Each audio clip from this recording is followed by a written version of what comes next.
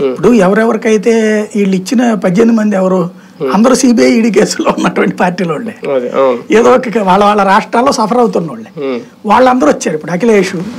అతనికి మీద కేసులు ఉన్నాయి ఇప్పుడు? కేజ్రీవాల్.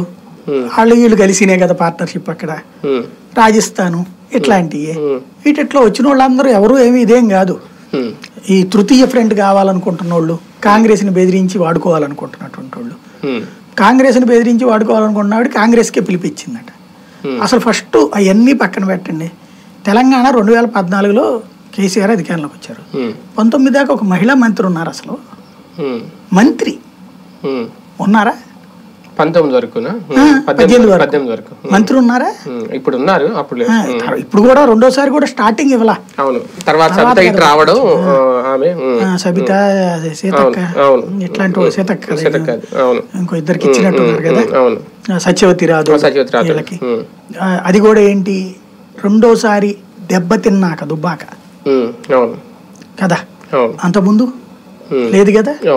రెండోసారి అప్పుడే ఒకటి రెండు బిగిన్ చేశారు అసలు అంటూ ఫస్ట్ ట్రిప్ అయితే సున్నా.